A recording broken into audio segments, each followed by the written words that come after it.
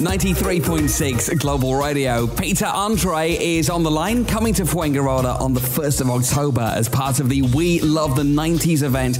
Uh, Peter, your show it's going to be a big one, isn't it? Um, yes, of course. I mean, we're taking elements of our arena tour, really. Uh, you know, obviously we can't have all the lighting and we can't have all the rigs, but we just, you know, not even all the dancers, but we, we will make it great, you know, and entertaining. And one thing I do know is on the stage I'll entertain people. I mean, I love doing that. What are you most looking forward to about this show? You know, I, probably, even though I love doing my own material, I love it when we throw in a couple of other songs. Like sometimes I throw in a Stevie Wonder classic or, you know, um, a Sting classic or a Chicago classic.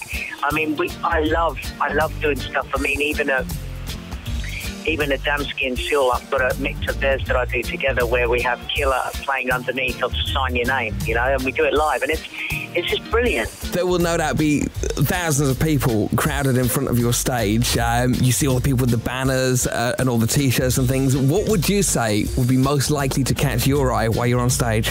Um, there's been some really funny ones, like the next Mrs. Andre, which I thought was really funny um, someone saying, like, you know, the fake bodies that they put on themselves. You know, yeah. you can buy those like cardboard sort of cut out or sort of sponge cut out bodies. They're quite funny.